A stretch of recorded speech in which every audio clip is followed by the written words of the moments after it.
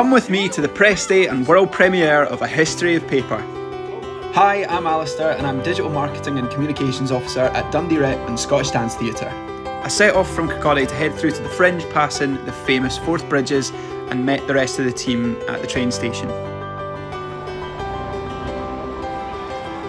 On our way to the theatre we saw lots of our posters and soaked up the festival atmosphere.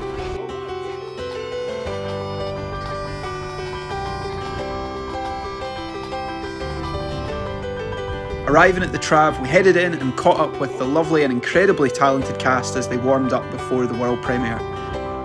There's something really special about the Fringe, and particularly being part of Travfest 24 and the Made in Scotland showcase. We're so proud to be a part of them.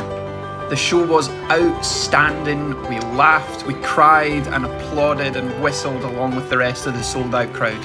After it was done, we enjoyed some drinks and chatted to the cast and creative team, we grabbed some lunch and stuck around as well to watch Leah Shelton's show, which was brilliant. A History of Paper is returns only at the Trav, but you can get tickets for it at Dundee Rep or at the Tron in Glasgow.